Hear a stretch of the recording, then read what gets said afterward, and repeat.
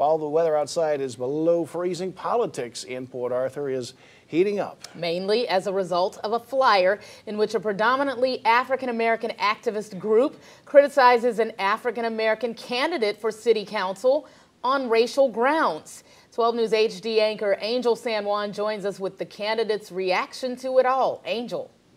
Mike Mason is running for the District 1 seat on the Port Arthur City Council. The election is not until May, but already he's become the target of what his supporters and other citizens consider an offensive and negative campaign.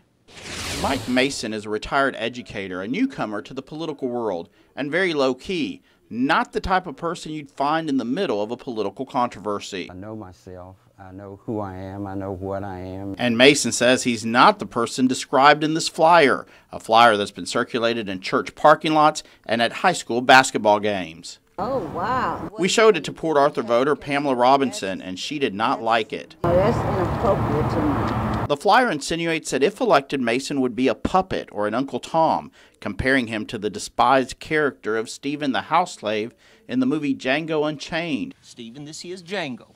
You two ought to hate each other.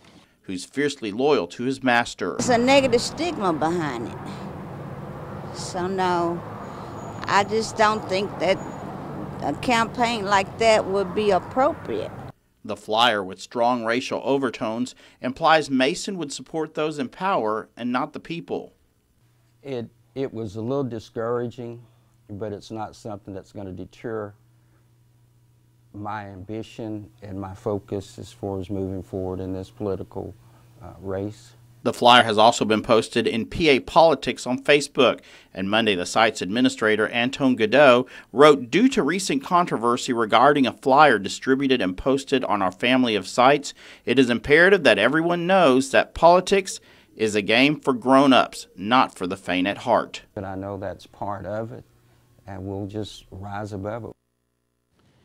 And Mr. Mason told me he's ready to put the controversy behind him because he wants to focus on uniting Port Arthur, not dividing it. As for Mr. Godot, who runs the PA Politics site where the flyer was posted, he told me his members are allowed to post their political opinions, and he says the site is aimed at educating voters. They are starting really early. really though, early. Right? It's incredible. Yeah, the election is in May, so uh, we'll see if people even remember this controversy when they have when they get a chance to vote. Mm, It's hard to get stuff like this, though. It is. All It right. is. Thank Angel, you, Angel. thanks very much. We also contacted the man who currently holds the District 1 seat Mason is seeking. Councilman Raymond Scott told us he has yet to announce whether he will seek re-election. Scott did tell us he knew nothing about the flyer.